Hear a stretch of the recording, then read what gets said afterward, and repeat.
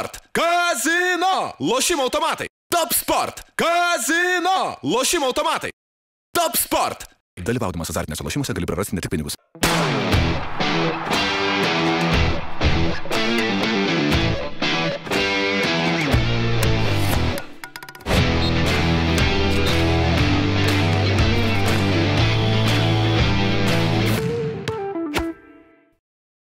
Sveiki visi mėly ir mylimi NBA fanai, su jumis um, laida Trigubas Dublis. Paskutinį kartą šį- paskutinį kartą šį sezoną. Um, sezonas, kodėl paskutinį kartą šį sezoną? Nes sezonas baigėsi. Um, Bucks in Six. Buvo Brendonas sakyta prieš Jenningsas, finalinę, prieš finalinę seriją, buvo sakyta Jovaros Kano, o ne Brandon Jennings. Prieš playoffus buvo sakyta Bucks taps čempionais, Jovaros Kano, o ne Brandon Jenningso. Tai tu rinkis, ką tu čia, ką, ką bandai iškelti. Gerai, Jovrai, gerai, Jovrai, gerai. Duodam, duodam, duodam šiek tiek Ar Bucks pelnytų, legenda Brandon pelnytų, Jennings? pelnytų plojimų ir, ir, ir pripažinimo duodam Jovrai. Šį kartą jis buvo teisus, pasirinkom skirtingas finalų nugalėtojus skirtingus ir a, Jovaras šį kartą buvo akilesnis. Jį Taip. pamatė, kad Bucksai turėjo daugiau. daugiau. E, Bet šiaip, aišku, tikrai ne, ne, apie, ne apie mano spėjimus, kurie čia buvo kaip aklai vištai grūdas daugiau, ne kad aš labai ekspertas buvau. Um, tai laimėjo, e, jis, galima sakyti kažkuria prasme, kad įspūdingai laimėjo, nes laimėjo paskutinės ketverias rungtynes, tai atsilikinėjo 2-0 ir tada keturias pergalės iš eilės. Um, aišku, tiek, tiek paskutinės rungtynės, tiek prieš paskutinės rungtynės iš esmės, na, abi komandos turėjo šansų laimėti, daugiau Baksai ir jie tą ir padarė, bet turėjo šansų tikrai ir Phoenixas, nebuvo čia vieni vartai. Ir šiaip pirmos keletą rungtynių buvo tokios, e, eh, tai ačiū Dievui, kad ant galo turėjome ir tikrai, na, tokių rungtynių, kurias paskui per NBA TV matysime, manau, Hardwood Classics a, atrinktose, atrinktose listose, ar ne? Um, nežinau, truputį... Šitos paskutinės gali būti, kad, na, grin, na tai iš tos pusės, kad, na, lemiamos titulą laiminčios, ar ne, ar, pažiūrėjau, kurias tu manai, kad suktų NBA TV iš šitos serijos, jeigu taip vienas rungtynės suktų. Ne, nu, aš manau, aš manau, kad šitos neslemiamos ir mes turim 50 taškų, Tai būt- 14 taip, atkovotų taip. kamolių ir 5 blokus. Aš ir galvoju, kad kitų nelabai bet, yra. bet manau, bet, bet, uh, Bet bet, ten buvo pametę kamolį, nesušvip, nu, tai visi tie bet, lemiami. jie- bet tas, bet tas, tas, prasme, tas, ta atkarpa ir mes turėsime, aš iš karto spoiler alert, žiūrovų klausimas buvo, tuoj pasak, nu, uh, pasakysiu gal, kad vis tiek žmogui padėkoti už šitą gerą klausimą, jeigu tik tais dabar Jonai, atskrolinsiu. Um, Jūs tai, kur, Jonis, skirmantai. E, tuoj, Dovydas, Dovydas klausė, Dovydas klausė. Gražiausias šio sezono momentas, tai vien dėl to momento gražiausio, vien dėl to A. perimto kamelio, Drew Holiday pasas Jani ir Aliupas su bauda.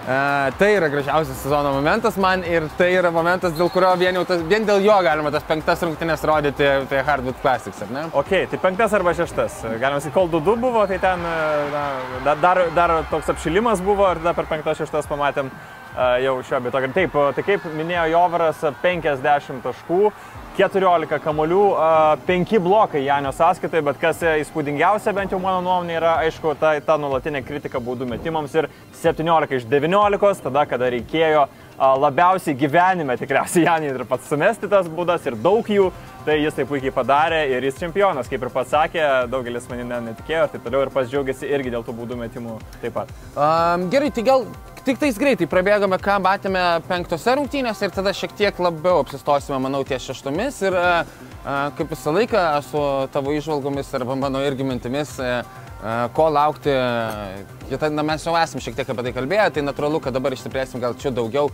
ko galima tikėtis kitose sezonuose, Sans ir, ir Bucks ekipoms. Tai bet kalbėkime apie penktas rungtynes, tokios, e, kur pradžioje um, atrodė, kad Sansai pabėgs su tomis rungtynėmis. Ten buvo berots, e, ar ne 32-16 pirmas kelinys. Jo, jie pradėjo A, labai labai Jo, susikaupę. Jo, susikaupę, Sansai viską. Atrodė, kad viskas bus kaip ir turi būti. pagal, pagal, pagal, mano, pagal mano galvos scenarijų. Tai. Jo, jo. Nu, aš kaip ir sakiau, per šešias reikia laimėti. Jeigu būtų kažkurias paleidę, septintose būtų Sansai. Bet žodžiu, e, atrodė, atrodė kad pabėgs Sansai. Milvokis prisivyja trečiame kelinyje, netgi tas uh, momentumas, taip vadinamas, uh, anglų kalboje, nežinau kaip lietuviškai, e, tas toks, žodžiu, jūs Ant bangos, ant bangos. komanda Jo, pagavo bangelę, pagavo bangelę, atrodo Milvokis, ten buvo gal plus 8, plus 9, um, trečiajam artėjant e, prie pabaigos. Ir gal, gal dabar jau jie čia perlaužė rungtynės, bet ne, vėl lygina Phoenixas ir turime ketvirtą kelnių, kuris yra ten iš viso fantastinis ir, e, ir, ir, žaidžia, ir žaidžia komandos lygiai. Ir tada, aišku, e, Drew Holiday perimtas kamuolys ir Janio Liupas. Bet, e, na, iki tol dar irgi matėme, um, šiaip kuo išskirtinės tos rungtynės buvo penktosios, tai tikriausiai, kad uh, tas didysis, nedidysis, kaip norime vadinti, Milvokio trejetą, bet visi sužaidė. Ten uh, 29 Driugoldi taškai, 25 Kriso Middletono, 29 irgi ar kažkas toja, 32 Janio ir uh, visi sužaidė pagal savo galimybes. Driugoldi eilinį kartą nuo... Um, negalima, prasme, kai, kai jisai dengiasi prieš Krisą Polą, tai toks vaizdas, kad jau Krisui Polui kamulio nebegalima duoti. Um, kiek kartų jisai šiaip jau... Aš vaizdas, kad Krisas Polas vėl traumą gavo, kai Džiuholdė įdengė, nes atrodo bejėgis tiesiog. šiaip, čia ir paliesiu ir šeštas rungtynės. Džiuholdė kiek kartų šitoje finalo serijoje tiesiog pasiemė kamulio, ar tai iš Kriso Polo, ar iš Devino Bukerio. Tarsi, šitam lygyje tokie perimti, nu jie nebūna. Tu, Uh, tu bėsinėsi, kai NBA 2K iš tavęs taip išmeta kamelį, no. aš staugiu ant ekrano, sakau, taip nebūna, niekas neišmušinėja, tu kamelį, aš čia nusišneka. Ar ne? Pasirodo būna. Argumentas į 2K. Dar. Argumentas į 2K komandą, jo. jo argument, būna, pasirodo. Argumentas būna. į 2K. Bet šiaip dabar prisiminiau, net susinerinau, kokia nesąmonė ten būna. Varais ramiai. Tai ką man, jiems žinai driblinguoti, reikia, jūs nesveigai. Gerai, neužsivesti. Apie 2K bagus, manau, galėtume mes abu tą valandą čia pradėti. Ja, gerai. Ir... Grįžkime, grįžkime prie kažkokio, žodžiu, Drew Holiday, cheat codas e, realiame pasaulyje su savo gynyba. Žaidėjas, kuris, e, kaip ir net aš atsimenu, mes laidoju su tavimi sezono pradžioje, bet ką jau tiek, nu, tai vienintelį tą dalyką, ne kad laimėjome laimės, aš sakė, sakėm, sakiau, bet kad Drew Holiday yra tas X faktorius, kuris gali pakeisti Milwaukee dalykus lyginant su, su praėjusiam atkrintamosiam, kai įvyko tas pakeitimas. Tai akivaizdu, kad būtent jis ir buvo vienas iš svarbiausių tikriausiai faktorių, kadangi uždaro pražovų lyderį ir tuo pačiu polime taip pat didelė pagalba buvo. Penktose dar reikia paminėti, aišku, Deviną Bukerį, kuris išgirdęs, kad aš sakiau, nedrįskite jo lyginti su Kobe Bryantu, pats pasakė, kad nereikia manęs lyginti su Kobe Bryantu ir tada sumetė vėl 40 taškų. Tai, tai žiūri trigubą dublį, tai logiškai akivaizdu. Akivaizdu, logiškai. Tikrai dedukcijos metodu mes su Andriumi nuo A iki Z vedėme, aš pritariu 100 procentų. Žodžiu, nu, bet reikia, reikia gerbti tikrais vaikinai ir kovą. E, apie penktas man taip sunku dabar užsivedus išnekėti, nes mes žinome, kokios buvo šeštos ir ką jos reiškia, tai gal ir keliaujame į tas, tas. Ir kalbame tas, apie tas šeštas. Rungtynės, kurios buvo, aš esu kalbėjęs. Pasakok jo po to gal apibendrinimą, aš gal labiau norėčiau jau bendrinti. Okay, okay, okay. Visą tą e, seriją. Sezoną visą, ar ne? Nu tai aš apie rungtynės labiau, uh, kurios uh, man visų pirma buvo labai smagia žiūrėti, nes aš esu jau uh, šiais metais kalbėjęs tiek su Ryčiu Berots, kai tave pavadavo, galbūt ir su tavimi. Mhm. Um, kad e, aš šiek tiek pasilgsiu, nu, gražus tas poliminis krepšinis. E, kalbant apie jį, ten Sansai metė nesveikų procentų penktose rungtynėse, virš 60 procentų tritaškų vis tiek sugebėjo pralaimėti. Bet aš esu pasilgęs to daužaisi mažai taškų, kietos kovos rungtynių. Jos man yra, nu, tokia, nu, įsimintiniausia ir tokia playoffų klasika. Ir šitose gavome, šitose šeštose finalo rungtynėse buvo daug smurto. E, komandos baigė pirmą pusę, man rodos, 45-40 gal kažkas tokio, nu, atrodo, e, Berats ir Maikas Brinas ar, ar, ar Jeffas Mangandis e, komentuodami sakė, kad čia gal čia į 90-uosius grįžom.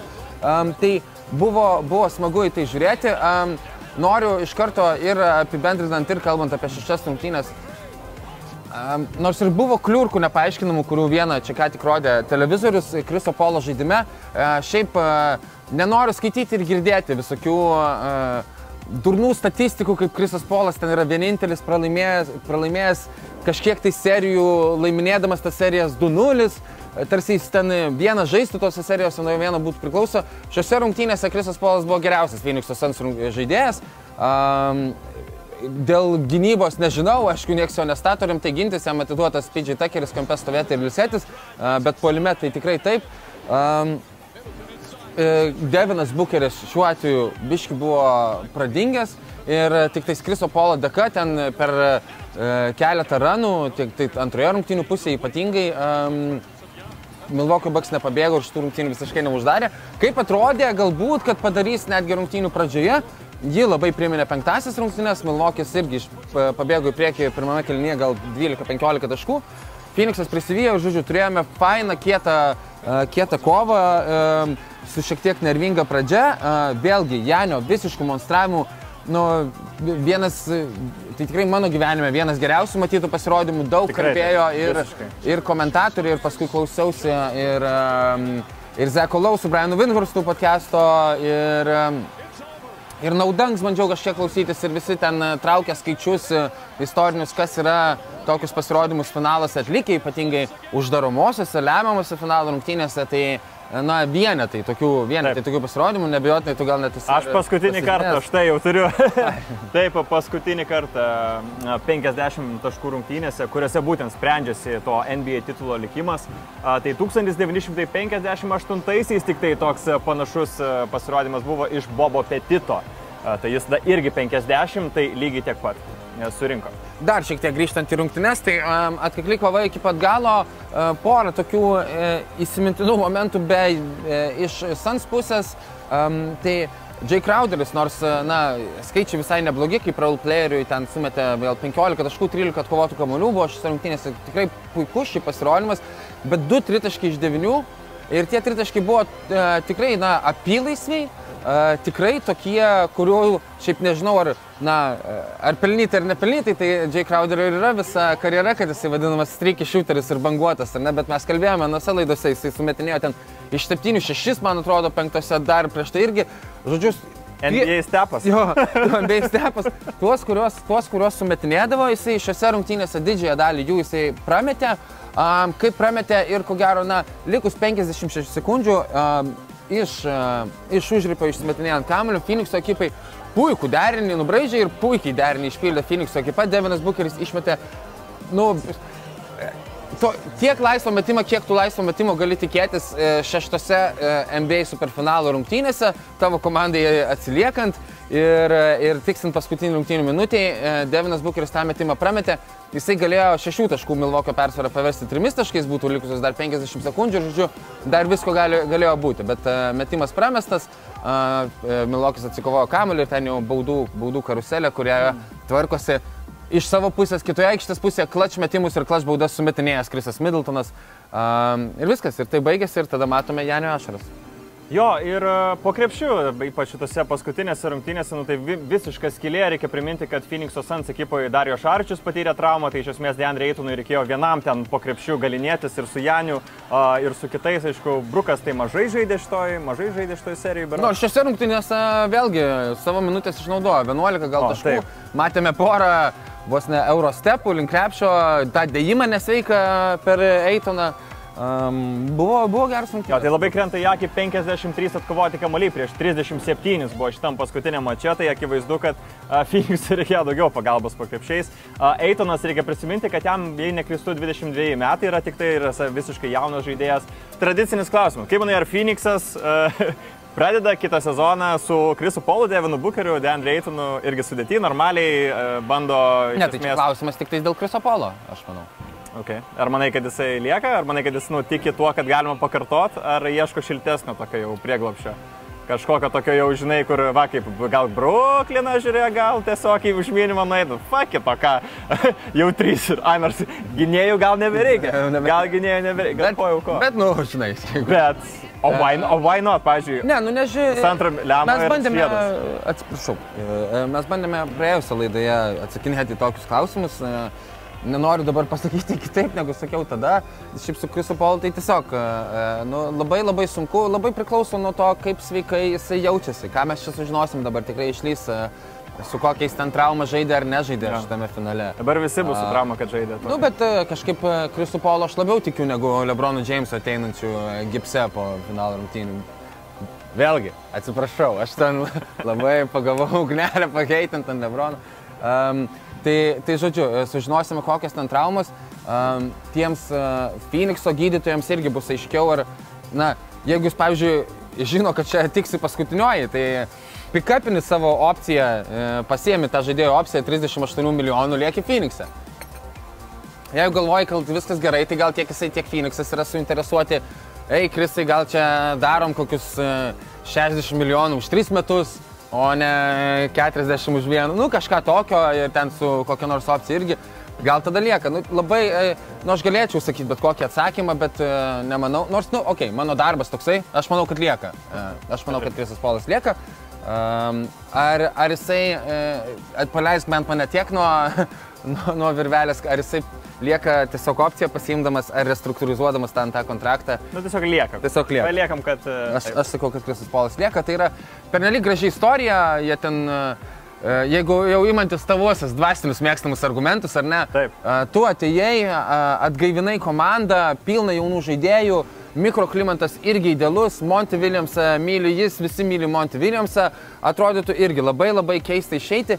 Kas garantuoja dabar, kur jisai čia išeitų, kad tikrai, tikrai jau viskas būtų gerai irgi neaišku, mes šnekame apie uh, Brukliną, bet nu, E, Tiem žaidėjams e, traumos, e, na, Harnas buvo nesitraumuojantis žaidėjas.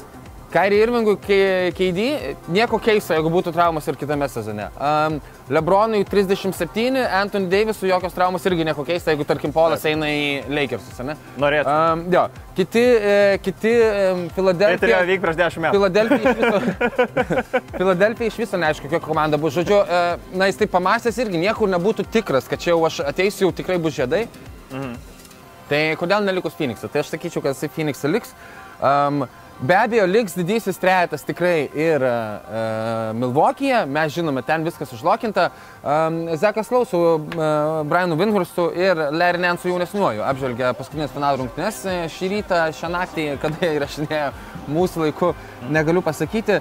Atkreipė dėmesį tikrai į Kriso Middletono įspūdingą istoriją, tai yra antro rato šaukimas, tai yra žmogus, uh, kuris buvo tas kitas žaidėjas Brandono Jenningso ir Brandono Knighto mainuose tarp Milwaukee Bucks ir Detroito Pistons. Kur dabar Tiesiog įmeskit, jo, įmeskit kas nors Kristą Middletoną, nu gerai, paimsim.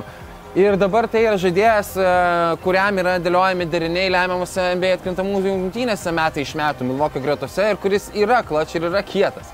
Um, nu, tai yra žiauriai, žiauriai faina istorija. Um, PJ Tuckeris, aišku, laimi žiedą greičiau, kaip žinia, negu Krisas Polas, negu Jamesas Hardinas, jo draugeliai Houstono ekipoje, kai jie buvo labai arti nurungti Keviną Durantą. Tai, uh, nu, žodžiu, uh, daug, daug smagių storyline'ų. Manau, lygiai taip pat, kad ir Milvokis lieka be abejo visas, koks jisai yra. Um, um, su kažkokiais na, marginaliais e, pastiprinimais arba praradimais. Aš e, tikrai nežiūrėjau, atleiskite dabar, e, kas tam baiginėjasi, gal kas nors čia labai norėtų tokio Peto Konotono, jeigu jo kontraktas baiginėjęs buvo, irgi užsidirbo, užsidirbo pinigų. Įdomu, aišku, vat, ar Bobby Portisas beros rašys gal tik vienam, vienerių metų mažą kontraktą, kuris Nebejotinai savo vertę pasikėlė šiuose atkrintamosiose, e, žvėriškos ir šeštosios rungtynėse, rungtynės ir šiaip Bobby Portisas toks energijos žmogus, kad em, na, visuose, visuose plyopose žaisdamas ten, kur jo reikia ir kada jo reikia, savo mintes išnaudodavo iki maksimo. Tai reikia žiūrėti, žinok, petas, petas pasirašytas dar kitiem metam ir dar turi žaidėjo opciją. O dar. Bobby, o Bobby Portisas? O ponas e, Bobby Portisas e, turi žaidėjo opciją, bet tik tai 4 milijonų. Tai jeigu Tai tikrai įtikino atsisakys, jo, tai, jo, tai tikrai atsisakys. Tai va, tai, Tikriausiai- tai va čia gal vienas iš tų daugiausiai šansų variantų, kad nebe, nebeliks Bobby Portisas. Ir, ir 36 PG Tuckeris irgi dar vienas iš dviejų va, žaidėjų, kurie va, iš, iš tų pagrindinių, kuriems irgi baigęs kontraktas. Bet, nu, Tuckeriui gal pinigėlių ras, aš manau jau. Yra, um, yra tos vadinamos uh, Berdo teisės, berots turėtų Ne, ne, ne. priklausyti. Čia Berdo, kai, uh, Kai gali per lakšerį teską. kai gali penkis metus duoti, o ne keturis. Ir kai gali daugiau pinigų ten e, savo lyderiams duoti. O čia yra mid-level exception, kai gali duoti 5 milijonus, tarkim, e, kažkam Ne, vidutiniam žaidėjui. ir, ir uh, nu, gal pa, pataisykite mus, kuris klystat, Berdo teisės to pačiu yra, kad jeigu tau jos priklauso, tai tu žai, tą žaidėją gali prasitęsti, Tai jo, bet jis turi lipdamas būt- virš algų kepurės. Bet jis turi būti kaip Berdas, jis turi būti All-Staras, jis turi būti, čia yra kitas Ne, teisės. nebūtinai turiu. Na nežinau, aš Ne, čia yra mid-level Ne, ne, exception, ne, ne, kad ne, duoda ne. penkis va tokiam kaip Šakeris, aš galvoju. Pataisykit komentaruose. Kažką vytis atsigersiu kaltais, Um, nes nereiktais. Gerai, na, ne. judam. Um, apie gal nežinau. Uh, Tai apie, tau apie jo, ne, sezoną? Nežinau, mes čia apie tą... Visas- nu, nežinau, aš dar noriu, nu, bet- Žaidėjai liks ten, kur liks, mes čia apkalbėjom per visą šitą laiką, kokiu pagrindas komandų lyg ir turėtų likti, lyg ir jos e, turėtų sugrįžti, bet yra labai labai daug komandų, kurios e, atrodo labai pavojingai kitais metais. Dar vienas dalykas, tik tais pa, iškelsiu klausimą, kuris buvo iškeltas daug kur internete, e, nuo podcastų iki Reddito forumiukų. Um, Tu jauti tokį, kad Janio Antetokumpo žaidimas nėra taip švenčiamas NBA kitų Pavyzdžiui, žaidėjų. Lebronas, kai laimėjo. Kaip, Le- ne, ne tik Lebronas, kaip čia, vat, Rudy Goberas, ten, pavyzdžiui, atkreipė dėmesį, kažkas ten, um, kažkoks NBA krepšininkas uh, paustino kaip, uh, ar kas nors kalbės apie Krisą Middletoną kaip uh, finalo MVP, tipo, ten po penktųjų gal rungtynių. Mhm. Ir Rudy Goberas komentaruose ten Instagram rašo, dieve, man jūs rimtai, ta prasme, šitiek esate dėję ant Janio, kad tiek, ir tikrai, nu, e, kai mes žiūrėdom ten e, playoffų, ten pirmos raundų, ten Daimonas Lirdas, kai šauna nesveikus, e, nesveikus pasirodymus, e, ten jo, tie patys Durantai ir visa kita, o, jis sproginėja, visi jo rašinėja, ir Lebronai rašinėja, Sidžiai, nu kas tik nori, ne? Um, Janis belė ką išdarinėja playoffuose, ai, ok, cool. Tokių nėra. Yra čia šitas. tada- Yra koks- šitas. Galiu net nemeluosiu. Šiaip yra šitas ir, ir net kol tu dabar viską šnekėjai, man net kažkodėl va tokia ir gausi, nejučia mintis galvon. A, nu tai duokit baksams žaisti su kokiais Lakeriais, su pilna sudėtim, tada aš kažko patik. Bet atrodo, kad kažko dar, jie tapo čempionais, bet, bet atrodo, nu, bet kažkaip norėjau dar kažkokių tai dar įrodymų norisi. Ne, nėra šito. Ne. Nėra likę, kad... e, Ne, ne, ne neturiu. Aš Ten, neturiu. nes, nes, o, pažiūrėjau, okei, okay, tarkime, NBA finalas, ar to visai buvo, va, kaip ir, nežinau, pastaruosius metus buvo įdomus ten kažkokie finalai, taip ir šis tau buvo labai įdomus ir vienas tų, ar... Nes, pažiūrėjau, aš, aš neneiksiu, kad šiemet, nu, pažiūrėjau, man tai tikrai, nu, nebuvo labai daug tokio, o exci exci excitemento, man norėjos Nu, kažkokios tu- dar kitos nu, nes komandos. prie, prieš, tai, prieš tai finaluose žaidžia arba Lebronas, kuriam tu šikną sulindęs esi, arba Miamis, kuriems tu visiems sulindęs esi. Tai tada, aišku, tu didesnė, emo... didesnė emocinė investicija ir tie finalai Bet tau, Lakers jį būtų žymiai geriau. tau žymiai didesnė emocinė investicija ir tie finalai tau įdomesni.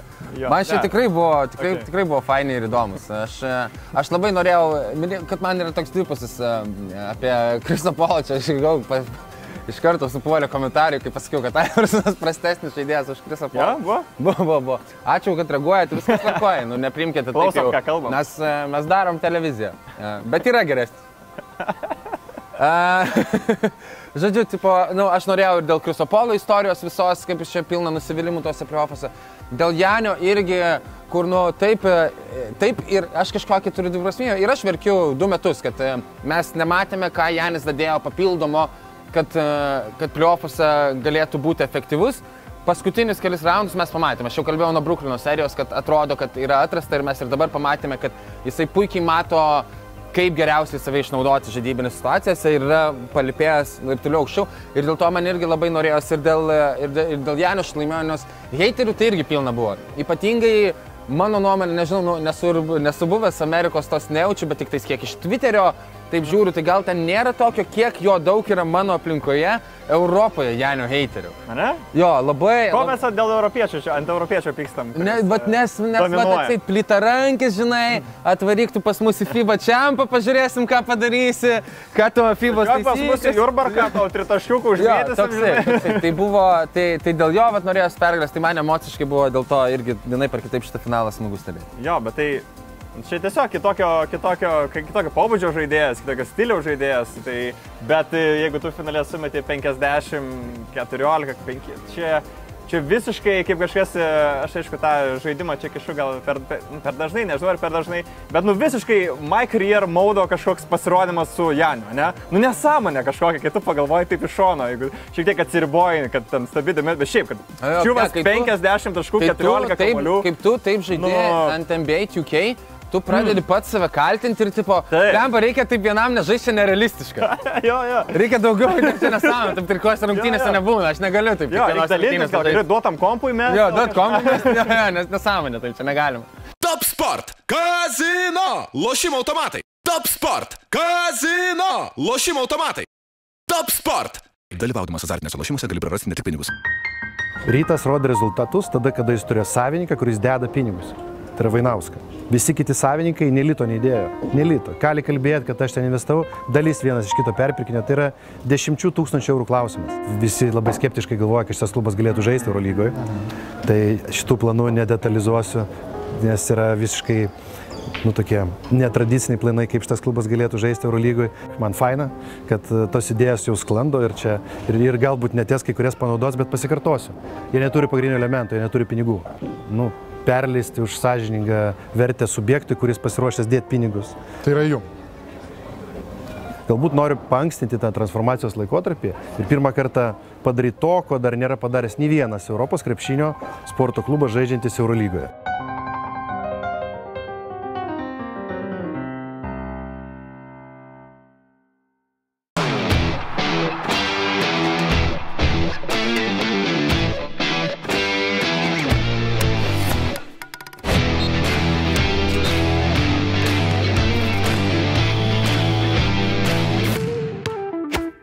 Sveiki, trigubo dublio klausytojai ir žiūrovai, čia vėl Lukas iš, CLT ir šį kartą jums pristatysiu dar vienus vardinius NBA krepšininko kėdus. Šį kartą kalbėsime apie Kavajų Leonardą ir New Balance, kurį, kurį jis atstovauja. E, Mano rankose New Balance Kavajai krepšinio kėdai ir spalvinga jų versija kuri pasakoja gana įdomią istoriją. Ši versija vadinasi Moreno Wallai. Moreno Valley tai yra miestas Kalifornijos valstijoje, Amerikoje ir būtent iš čia yra kilęs Kavajus Leonardas. Šią spalvą įkvėpė Moreno Valley herbas, kuris ir puošia pačius kėdus bei jų ležuvėlį. Įdomu, kad pačio miesto pavadinimas yra kilęs nuo Moreno bendruomenės, kurią įkūrė Frankas Braunas Iš pradžių norėta miestą pavadinti būtent šio žmogaus vardu ir taip jį pagerbti, tačiau jisai nesutiko su tuo ir miestui buvo sutiktas Moreno vardas, kuris ispanų kalboje reiškia rudas, kuris yra išvertus į anglų kalbą brown. Tai buvo pagertas įkūrėjas. Spalvingus Leonardo batus puošia įvairūs akcentai ir detalės, tai jau mano minėtas e, Moreno Wally herbas su jo įkūrimo data, tai čia matome užrašą December 3 1984, tai nuo 84-ųjų Moreno Volai gavo miesto statusą. Be to, kėdus puošia numeris 2, kas yra Kavajaus Leonardo marškinėlių numeris. Šią versiją ir daugiau Leonardo kėdų spalvų rasi www.stil.lt arba užsuktiesi į mūsų parduotuvę Kaune, Putvinskio gatvė 50A. Ir žinoma, nepamiršk naudoti nuolaidos kodo 320, kuris suteiks tau 20 procentų nuolaidą. Iki susimatymų.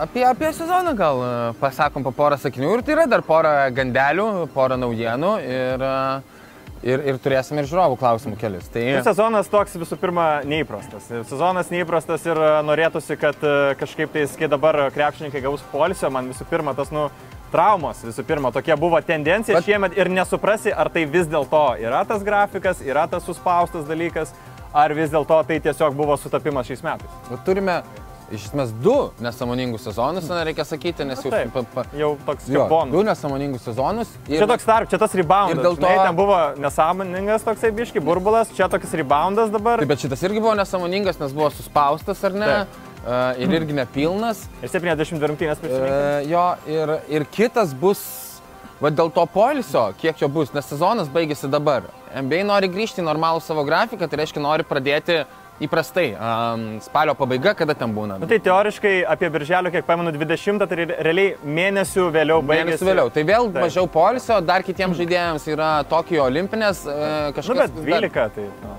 kaip jo. nors gal, nu. Nu kaip nors, kaip nors, kaip nors. Pavėlins tam treniruočio stovyklą, visą kitą, nu, su tais 12 tai kaip ne, nors. Aš tik turėjau omeny, kad gali būti, kad dar ir da. kažkokius padarinius viso šito. Tai ačiū Dievui, Lebronas nevažiavo į Olimpiadą, nes tada būtų koks iš čia pavargęs, pusę sezono ten nežaistų vėl, ten e, sėdėtų, atostogas pasimtų. Nu bus įdomu, šiaip Lebrono, Lebrono įdomus. Aną kartą, kai turėjo laiko palisėti, grįžo su čempionų žiedais šiais metais. Labai tikiuosi, kad ir. Šiais metais gali būti irgi. Briokso. kad jau tiek variau, čia du kartus laidoju Lebroną, tai aišku, įdomu, šiaip visą laiką, kiek, kiek dar gali tas robotas mus stebinti. Taip, tai viena jo tų komandų, kuri tikrai kitais metais bus pretendentė, labai įdomu, vasarą man visą laiką įdomiausia tie, tos mažos detalės, kuriam pasipilys, tiek Lakers, tiek Nets, tie tokie minimumai, bet jau kur veteranai, kurie labai padeda, kaip tarkime, na, už tos pačius 6 milijonus Milvokis PG Tuckerį turėjo, kuris buvo labai svarbus. Tai va tokie labai man įdomus tie nedideli adišinai, kuriuos būtent padarys tos komandos, jie gali būti labai, na, lemtingi. Tai bus labai tokios, manau, aktyvios dabar.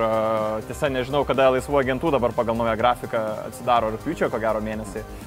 Nežinau, aš irgi, žinok, nepasižiūrėjau, galvoju tik tais, kaip mes čia, um, nežinau, mes blemba, man gėda, biškai, kiek mes prisižadam dalykų, vienas prieš vieną vis dar nesudaužiau tavęs, turim e, kontribistams šitą. Čia tai niekad Bet aš šiaip kaltinčiau, e, kaltinčiau mūsų producerius, režisierius, kurie už kadrų yra. Tokie dalykai mes, jeigu prisižadam, jie turi suorganizuoti, ne mes čia patys dabar turim suorganizuoti, kada nufilmuoti, kada kontribistam atiduoti.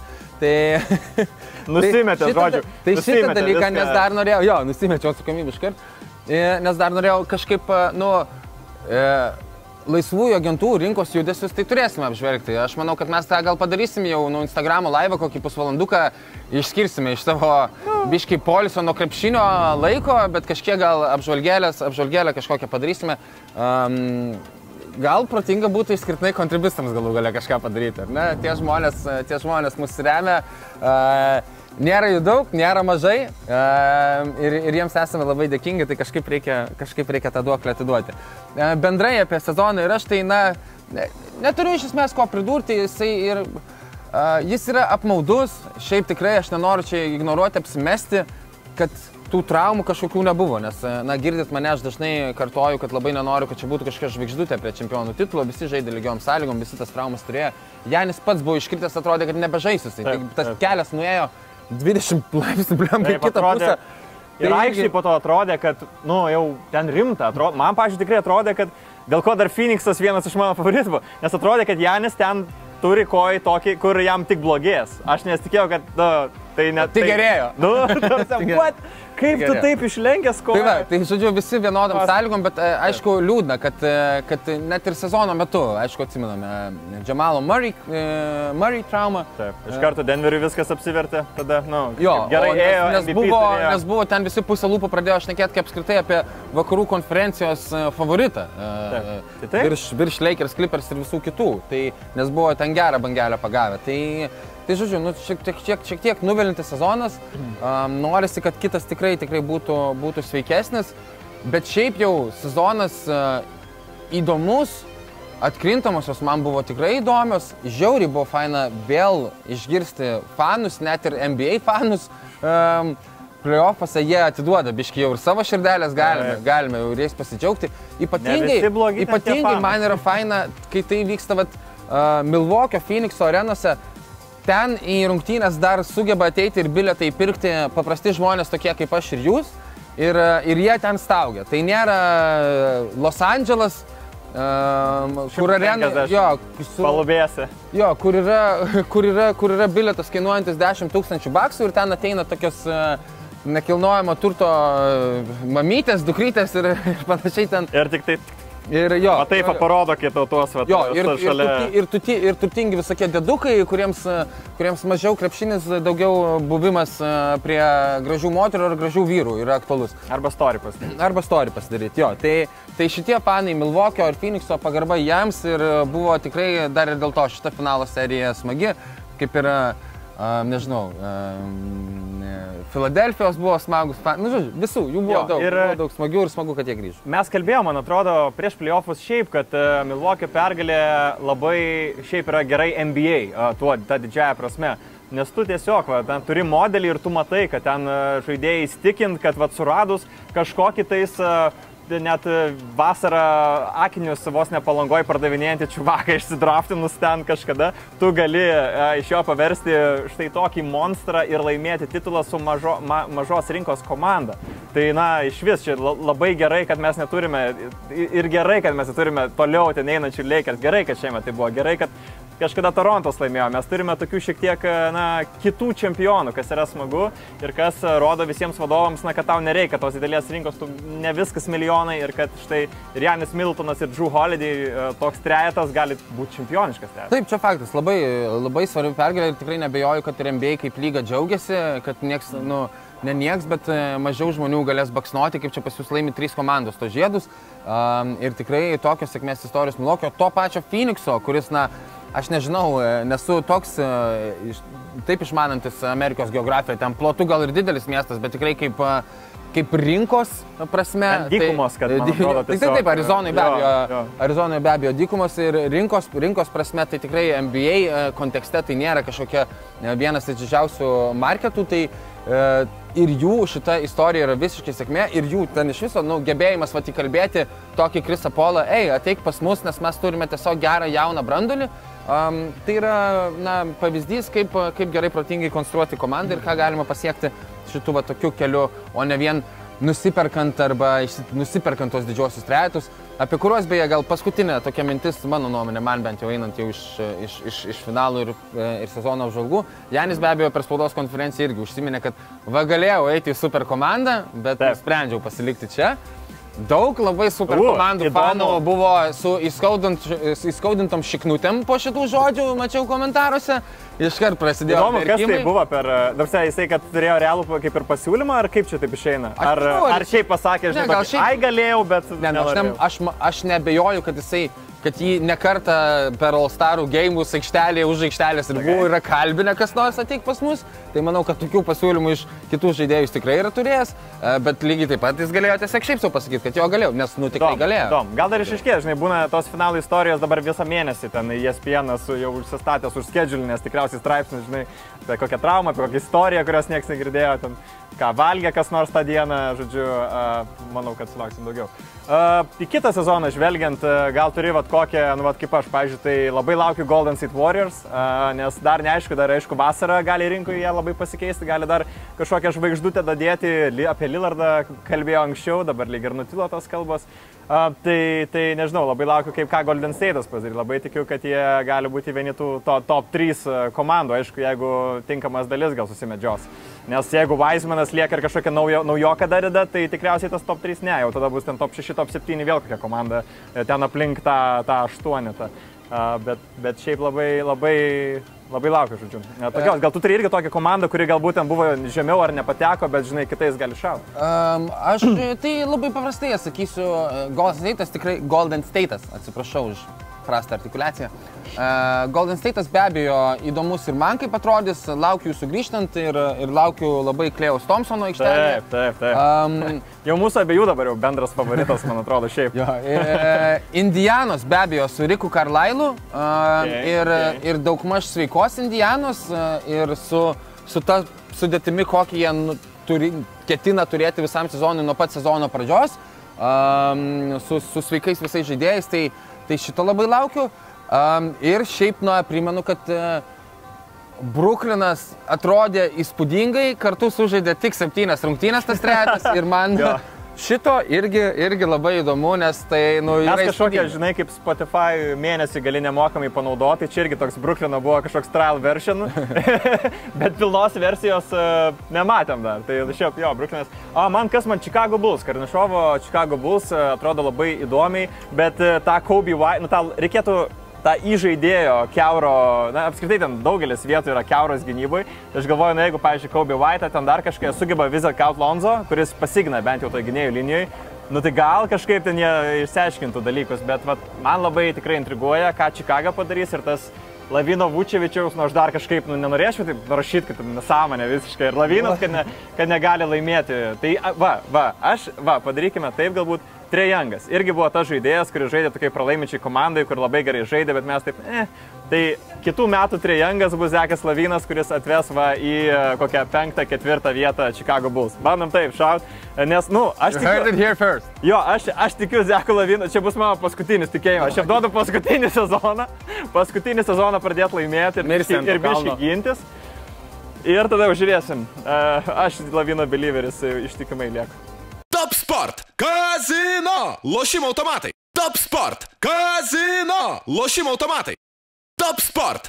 Dalyvaudamas azartiniuose lošimuose gali prarasti ne tik pinigus.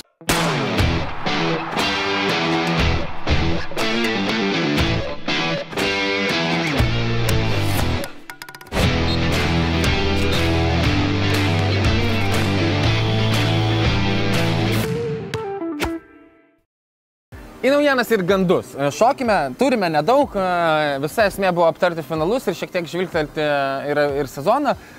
Bet e, Daiminas Lillardas, apie kurį kalbėjome praėjusią savaitę, kad jis čia reikvesnis, Andrius e, minėjo, kad buvo reportai, kad jisai ketina už kelių dienų pranešti, kad e, nori būti išmainytas. Tai dabar jisai e, per tas keletą dienų spėjo paneigti šitą nuomonę, kad e, jis to, jis to nesai ir neketina čia dabar prašyti mainų. Taip, taip. Bet, bet e, Portlando e, vadyba e, turi e, skubiai pakelti komandą į kitą lygį. Ir aš dabar pacituosiu Damon Lirdą, nes aš nemanau, kad pasižiūrėjus į mūsų ekipą, tu galvoji, kad ši ekipa yra čempionų kontenderis, tik mums reiktų pakeisti trenerį ir dabar Čionsi Bilupsui atėjus, viskas čia pasikeis. Um, Geras, nuoširdus ir teisingas Daimono Lirdo pasakymas, net būtų galima pakelti nuo suolo už tokį pasakymą. Galima. Tikrai taip, ekipa nėra čempioniška ir tikrai ten treneris, e, e, ten treneris nepakeis e, kažko labai stipriai, kardinaliai nepadarys jų kandidatais į čempionų titulą. Ką ten išmainyti, kaip aš jau mes esame daug išnekėję ir į tai, ir į tai aš nebesivel- nebesi- nebesivelsiu. Tai žodžiu, tiesiog teisingos mintis, aišku.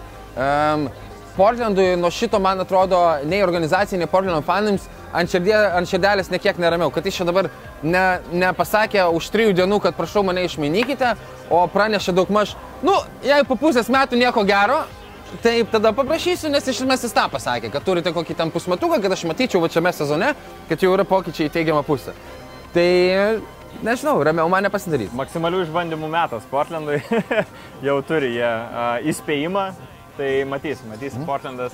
E, Kalbant apie Portlandą, nes galbūt ketinai šokti į kitą komandą, tai tais Jo. pabaigsiu, kad e, Portlando gynėjas, kurį jie gavo už Gerį Trentą jaunesnį, Normaną Pavlą iš Toronto Raptors, e, atsisakė savo žaidėjo opcijos, tam berots beveik, nes tai aš užsirašau, kad atsakau, berots 11,6 milijonų JAV dolerių. Normalu, to ir reikėjo tikėtis, tai bus vienas esminių, aišku, ir Portlando prioritetų Normano Pavlą prasitesti. Jis tikrai, manau, gali tikėtis 20 kelių milijonų į metus kontrakto. Ten kokie 4,80, uh, man atrodo, yra minimumas, ko jisai, ko jisai norėtų. Ar būtinai tie gaus, nežinau, bet, uh, bet tikiu, kad, kaip ir minėjau, tikiu, kad gali. Nes toks žaidėjas, kuris šiaip jau nors trūksta truputį ūgio, bet geras ir poliame, ir gynyboje, ir atrodo, kad kas sezoną vis dar kažką prideda. E, Geras rūbinės žaidėjas, na, iš Toronto organizacijos atėjusių tam blogų, e, blogų nebūna, tai, tai žodžiu, atsisakė, nebe, tikimasi, kad Portlandas ras būdų prasitęsti. Kitais metais, kitais metais taip pat turėsime ir į- įkrintamasis. a, Tai Jau faktas, jau patvirtino. Jau ne? faktas jau yra patvirtinta jo, kad Adamas Silveris jau išėjo, pa- paskelbė, kad jam patiko, kad jam, na, jis apskritai, jeigu pamenate, anksčiau kalbėjo apskritai, kad sustabdyti NBA sezoną ir dar tokį papildomą turnyrą nori daryti. Tokį kaip, kaip būna futbole, vyksta sezonas ir dar taurės yra dar atskiros. toks Nereikia kaip- futbolo, mes kaip turim kapas. karaliaus Ai. mindaugo. Jo, kaip ir krepšinį. Kaip ir krepšinį taip pat būna. Jo, tai, tai bus žaidžiamas, na, kol kas toks, tai tikriausiai aš taip galvoju, yra, žinai, toks aukso viduriukas. Niekas nenori žaisti tos kažkokios naujos taurės, nes niekam neįdomu, o bet tuo pačiu vyksta ir kažkokie, kažkoks turnyras ir netgi dviem komandom daugiau pretenduoja atkrintam, į, į krintamasis. Uh, tai, ne, čia jau gaunas į atkrintamasis. Nu, įkrintamos. jo, jo, dar reikia priprasti prie naujadaro. Taip smagu, man tai, man tai Fainas patiko dalykas, ir aš sakiau iš karto, kad reikia tą daryti toliau ir man keisti buvo žmonės, Jo, kuriems netiko ir, ir turėjau draugų irgi verkinčių, kokia čia nesąmonė, Lakersai čia pasiekė septintą vietą, dabar iš vis gali iškristi. Nu tai žaisk sezoną normaliai, būk bent šeštas. Ku- bu- bu- bu- bu, Tai smagu, puiku, daugiau excitement, daugiau dramos sezone. Suprantu, nelabai žinau. Nu, tai, toliau, Vestas Anseldas jaunesnysis buvo paskelbtas naujojo Washington Wizards komandos treneriu, kaip žinia, Scotty Brooksas iš tos komandos buvo atleistas. Vestas Portlando Anseldas asistentas. uh, Kodi Bruksas, ne? Pas kažką nuėjo pat, asistent, patvirtino, aš neatsimenu, kažką girdėjau, žinau. Gerai, tu, pa, um, pa, tu tesk aš. tu pats sakei dar man praeitoje laidoje, man atrodo, kur tas Scotty Brooksas, Na, ne? aš tau parašiau žinutę į Facebook.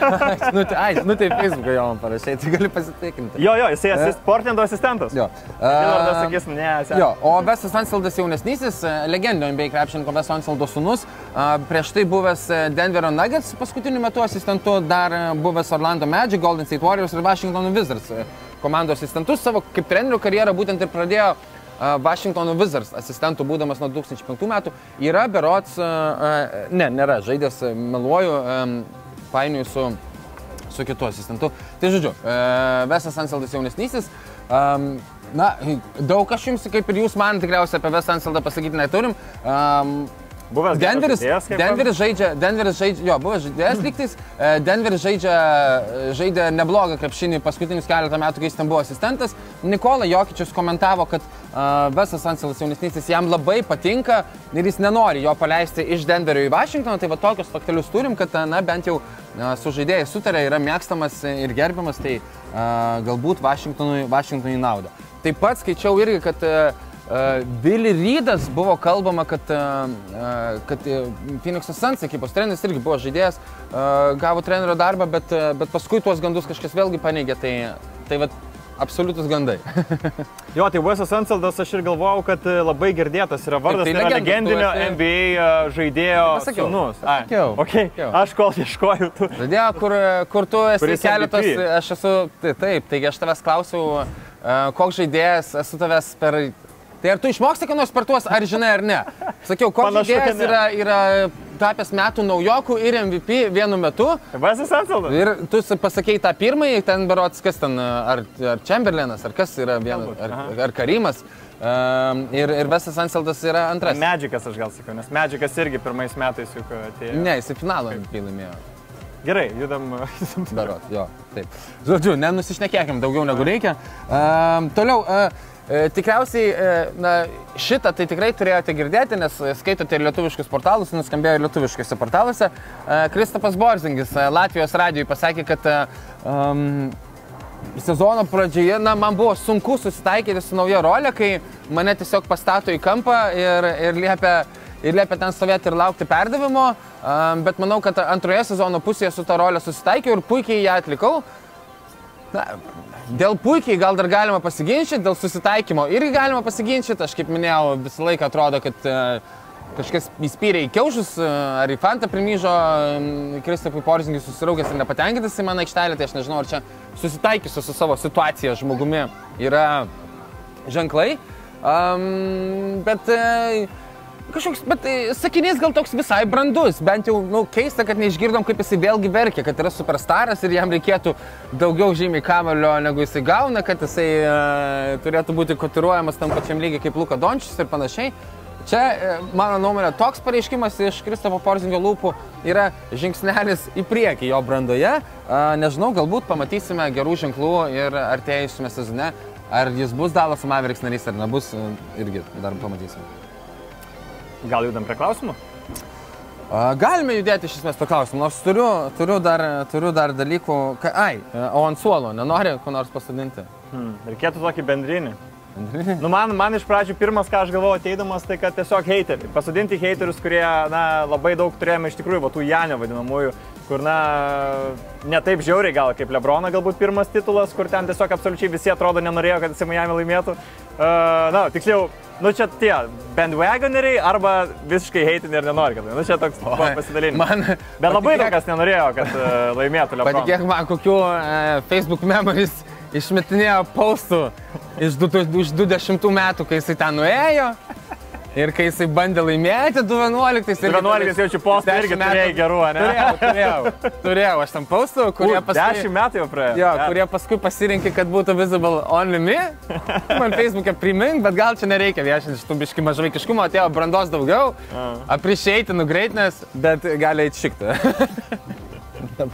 James. Gerai, tai aš tai jo, tai vis dėlto hate, hate, hateriai, kurie, taip sakant, netikėjo Janiu, Janis prašau, jiems padovanojo 50. Aš tiesiog tada simboliškai tai, kas dažniausiai buvo viso sezono metu arba sodinama mano, arba O. kam jaučiu didžiausią aistrą, visos šitos... visos šitos e, peržiūros. E, po 3 minutinės minutės pertraukėlės, e, 30 sekundžių metami baudos metimai, min, minutė išsimetinėjamos iš, iš auto, kažką dar pasitikrinti. A, tie teisėjai irgi vienas su kitu tarėsi dar papildomai 15 kartų. Nu visos šitos nesąmonės, aš, nu, aš tikrai nesuprantu, aš, ar pavyzdžiui, teis, ar gali teisėjų lygis kažkoje būti e, Amerikos žmonės, nors ten ne vien amerikiečiai, mes žinome, kad turime ir lietuvių teisėjai, teisėjaujantį NBA, ar ten jie menkesnio intelektų ir ar kas yra, kad jiems yra, kad jiems tuo metu, kai Ne, bet žodžiu, aš Ne, paskui tada linkėjimai. norėjau, norėjau pasakyti, kad be abejo taip nėra, man tiesiog yra keista, kodėl ten tas situacijas e, FIBA teisėjai, Eurolygos teisėjai gali įvertinti žymiai greičiau. Gal ruošimas tų teisėjų yra tikrai aukštesnio lygio Žinai, kas man- Europoje ir, žodžiu, taip dėl to užtrunka. Taip, bet ne tik nuo teisėjų, bet dar ir nuo to, ką įgalina pati lyga, kad leidžia daryti tas peržiūros ilgas, kiek jos leidžia, dėl kokių situacijų. Nu, e, man atrodo, pas, nu, Įsijunkite, jeigu norite fanų nuomonės, įsijunkite bet kokį Twitterį, uh, Facebookus, Instagramus, Redditus, pasižiūrėkite, ką fanai šneka, kurie yra žiūrėję FIBA ir NBA rungtynės ir visi ten maldauja, kodėl negalima copy-paste taisyklių pasidėti vos ne į, į NBA, nes rungtynių tiekmė yra žymiai, žymiai dinamiškesnė ir smagesnė ir fainesnė. Tai vat, uh, Nu šiaip labai keista, kad tokia didelė organizacija kaip NBA nesutvarko šito reikalo kažkaip, nu to... Uh, tai gal dėl to, kad tokia didelė, dėl to ir sunku sutvarkyti yra. Žinai, nes pagrindė yra, nu, entertain, na, entertainmentas. Aš tiek manau, kad jie siekia, na, kad būtų entertainmento lyga vis tiek galų gale, uh, kad būtų smagu visiems, kad būtų linksma, ne, daro šou labai daug elementų visokių. Tai, na, turėtų trumpinti. Čia, čia turėtų būti net vienas iš prioritetų, man atrodo. Ir apskritai, jūs man atsakykite irgi. Atsimenat prieš, nu gal čia laikas, aišku, greitai eina tikriausiai, bet gal prieš dešimt metų, prieš kiek ten metų, tam New Jersey pastatė tą milžinišką su ekranais, ten tą apžvalgų e, bazę New Jersey'e. Tai, atsiprašau, ir tai nafik jinai yra reikalinga. Nu tai kam ta bazė? Kam ten šimtas, sakė, ar kiek ten, dar 300 milijonų kainavo ta bazė NBA. Ar, nu, gal, sorry, gal čia jau tirštinu, gal ne, kainavo, bet, bet, bet sakė tikrai daug milijonų, daug dešimčių milijonų uh, skaičius buvo. Bet ir ir ką jis veikia? Bet tame ir Tai ką jis veikia? nifiga nereikalinga. Taip, tai ką veikia jie ten? Tai ką jie, e, tos pačius kampus tiesiog atrenka irgi kaip ten. Gal, nebe, gal uh, iš, išjungta, atjungta. Aš nesuprantu. Nurašom. Arba jau seniai ten jau nebėra jo, bet, bet mes įpratę, kad kažkada pastatė. Gal jau jį išjungė, net gal jis jau nebe. Tik tai tas Steve Jabby išlenda kartą kartą. tai tam taip, ekranų porą jungia, atrodo. Bet kas tai milijonai ir kokią, kokią, kokią naudą deda, jokios atrodo, kad neduoda. Tai va, toksai suolas paskutinis šį sezoną ir judame prie paskutinių jūsų klausimų šį sezoną. Uh, Top Sport Kazino. Lošimo automatai. Top Sport Kazino. Lošimo automatai. Top Sport. Dalyvaudamas azartiniuose lošimuose gali prarasti ne tik pinigus.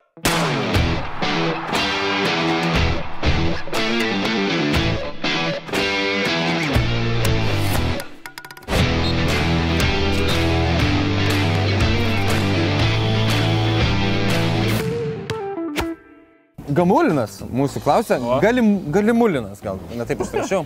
Eimantas žodžiu. Tai ar trūko, ar trūko Baksams Bogdanovičiaus? Ir dar skruselis rašo ir tikiuosi prisimenat mano klausimą. Tai kažkokio kito klausimo negu šito. Žinok, žinok, atsiprašau, neprisimenu. trūko kam baliui po to? Ar Ne, Baksam ar trūko? Ne, nu, tai akivaizdu, sakau, aki- baliui trūko Ne. po to, po finalo Tai laimėjo. akivaizdu, kad netrūko. Nu. Ne, tai šitą ir norėjau pasakyti, matyt, pa, pa, pavaidinti šitą. Ai, čia. Bet, O. a, bet kitą sezoną tai labai gali pritrūkti, nes kitą sezoną, kaip aš jau ir dideliame monologe laidos e, priekyje, pradžioje, pasakiau, kad na, bus tikrai sudėtingiau baksam. Tai kitą sezoną, manau, tokio Bogdanovičiaus tikrai tikrai truks. Klausė Ignas, kokias IP3 ateitis ar už minimumą žais, mes šiek tiek aptarėm laidoj, ar rinksi 100 milijonų, tai pagal tai, ką mes apšnekėjom, tai gavus toks, jeigu trumpas atsakymas, tai gali būti toks viduriukas. Tai- Gali būti su Phoenixu ten 2- 260, gali būti ir, mi- nežinom. bet- Neverta kartotis iš tikrųjų. Jo, Atsisuk laidos pradžioje. Tikriausiai Phoenixas galų galėjo. Jo, vakaris klausė, ar tikėjotės Bucks pergalės ir ar Janis bus geriausias e, Bucks žaidėjas of all time e, dabar, kai jau jis laimėjo žiedą. Na tai, e, tai ne pirmas Milvokio žiedas, jie yra laimėję m, 71-aisiais, ten žaidė Karimas Abdul Džabaras ir Oskaras Robertsonas, dvi visiškos NBA legendos, taip kad manau, Janiui dar anksti tikrai būti tituluojama geriausių žaidėjų Bucks istorijoje. Um, trečių geriausių gal jau ir galima, aš taip jau neprasėjau pro, pro, likusius, pro likusius Bucks legendas, tai nežinau, gal reikia pradėti galvoti apie Rėjus Alenus, e, Vinus Bakerius ar dar kažką, ar dar kažką panašaus, bet be abejo, kai šiaip Karimas Abdul Džabaras ir, ir Oskaras Robertsonas, a, dvi NBA legendos, a, kurios žaidė už Bucksus, tai na, Janiui, Janiui dar, yra, dar yra kur stėptis ir dar yra ko siekti, ne, negali čia jau ant vinies kabinti svarbučių. Paš... Z. Paškevičius klausė top 3 NBA komandos apie nieką. Tai trečioje vietoje apie nieką Houstono Rockets, antroje vietoje apie nieką Clevelando Cavaliers, kurie dar ten po Lebrono išvykimo galvos, kaip čia iš vis, kad kažkam įdomu būtų krepšinis. Ir pirmoje vietoje, kaip ir prieš sezoną apie nieką komanda yra Detroito Pistons. Nesupratau tos komandos prieš sezoną, ką jinai iš vis veiks ten NBA. Nesupratau iki šiol, kai jinai liko 15 rytuose. Neturiu ko pridurti. Krabas mums užduoda labai krabišką klausimą. Ką veiktų Janis, jei būtų 1,90 m ir trečdalio dienos nepraleidinėtų kačelkė visą laiką? Tai žinome, mes būtų salesmanas, gerai, ne? Jau pardavinėjo Atenų, Draudimą Atenų, Atenų gatvėse pardavinėjau ten kažką kinukus ar panašiai, girdėjom. Tai jo, draudimo brokeris gal būtų ar, ar koks nors NT. Manau, būtų salesmanas. NT ant to kumpo. NT, NT, NT takumą. Labai puikiai. Labai kečiai jo. Ar Krisas Polas dar laimės NBA titulą? Tai man atrodo iš esmės, kad čia buvo realiausia kažkaip. Aš tai taip, man mintis sako, kad tai yra kaip ir realiausia. Um, aš taip Nu, jeigu- labai vangiai tikiu, kad Phoenixas tiesiog, nu, nes, me, nes atrodo, kad Phoenixas, Krisas Polas lieka, bet kad Phoenixas kitais metais finale dar kartą, tai aš, nu, beveik, nu, ne, nu, aš labai abejoju. Aš manau, kad grįžta labai daug vakaruose, kas tikrai norės labiau uh, pasiekti. Nors, aišku, tas uh, keršto traškimas uh, Milwaukee, aišku, bus stipri, stipri varanti jėga, ypač Krisui Polui, Devinui Bookeriui, kokie jie yra kompetitiv žmonės. Uh, bet uh, aš kažkaip labai abejoju. Tai Krisas Polas gal, gal tikriausiai ne. Uh, nebent, aišku, jinai Lakers, tada mano atsakymas pasikeičia į taip. Aš manau, kad gali, kad gali ir su Phoenixu. Um, kažkaip pagalvojau, kad mes per daug čia sumenkinam taip ten e, su Anthony Davisu aikštelėje laimėdavo Lakersai, bet tai, na, nebūdavo irgi kažkokie triukšči, triuški, triuškinimai baisiniai uh, Phoenixo, kad čia dabar tik Davisų iškritus jie pra, pras, prasmuko. Um, Nuggets ekipa, mes aiškinom, o kaip fantastiškai puikiai atrodo net ir be Jamal Murray, kaip jie čia gal turi kažkokių šansų, atėjo Phoenixas uždarė, sako viso gero laisvi. Tai, nu, tikrai rodė irgi savo ir čempionišką charakterį, tiek ir kietą žaidimą, ir įvairi, į- įvairia pusiškumą tiek polime, tiek gynyboje, aukštai žemais penkitai žaisti, lietai, greitai žaisti, bėgti. Dar jau kalbėjau laidos pradžioje apie jauną talentą, kuris tikrai tobulės. Um, viskas ok, manau, Jo, šansų dar yra. Bridgesas, taip toliau, date. Manau, šansų dar yra. Jo gali dėti žingsnį, ypač tie jauni žaidėjai, jeigu paskirs vasaras, kai būna jauni žaidėjai kažkam elementui tobulinti, tai jo, Phoenixas gali grįžti labai, labai stiprus. Dovydas klausė, koks buvo gražiausias šio sezono momentas, na tai tikriausiai tas blokas Janio, sakykime, tikriausiai svarb, nu, pagal svarbą vienas svarbiausias. Aš jau atsakiau laidos pradžioje, kai minėjau, kad turime žiūrovo klausimą. Dėl. Ai, ai, teisingai, aš jau pas mane auksinės žurnalės atmintis. Taip, man atrodo, man atrodo, su šitų smegenų užtrumpinimu gal ir, gal ir ženklas, kad mums laikas baigti tiek laidą, tiek laidą, tiek sezoną. Ačiū Jums labai be galo, kad žiūrėjote. Ačiū, ačiū mūsų žmonėms už kadro, Justui, Tomui, Donsėjai, dar vienam Justui. E, Ačiū, kad pakenčia mus, ačiū Jums, kad pakenčiat ir mylit mus. A, Susitiksime po mėnesio kito. Sekite šiaip jau mūsų naujienas irgi socialiniuose tinkluose. Am, Gal, gal nepatingėsime kažką padaryti ir e, iki, iki to. Nu, blemba, nu, aš negaliu nežadėti, bet e, ne, negaliu nežadėti, nu, nes noris man. Ir grįšim dar Matysim. stipresni, dar Taip pat, aišku, dėkojame visiems savo remėjams, Silalte, dango, dangojame. Dangojame ir o dangaus sportui. Ir, ir dėkojame, aišku, net ir, net ir trumpam pasirodžiusiam Sarpšarkui norime padėkoti. Norime padėkoti Heinekenui, Top Sportui, dėkojame visą laiką. Labai labai dėkoju. Visą laiką. Ir, aišku, mūsų kontribistams. Tai Taip, o beje, apie šitus kedukus. kedukai. E, Gavome jūsų klausimų. SIL jau yra pataginę mūsų Instagram paskyroje, trigubo dublio Instagrame, tą žmogų, kuris yra išrinktas nugalėtojų ir šitų kedukų savininkų. A, Na, tikriausiai ne būtent šitų, priklausys nuo tavo pėdos dydžio, ar šitų siūsim.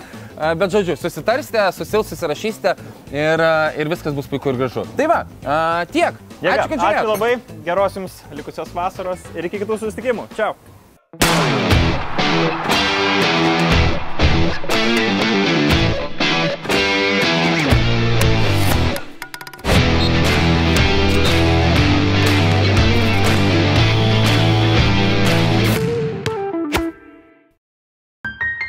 Rytas rodė rezultatus tada, kada jis turėjo savininką, kuris deda pinigus.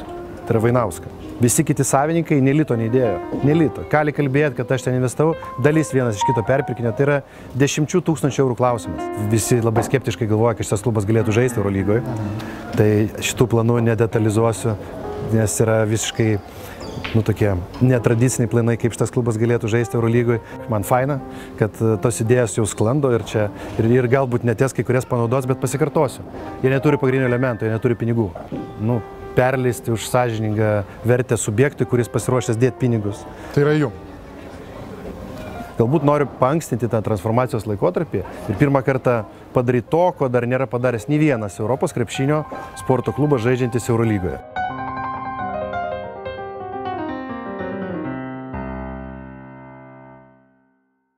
Lošimo automatai top sport.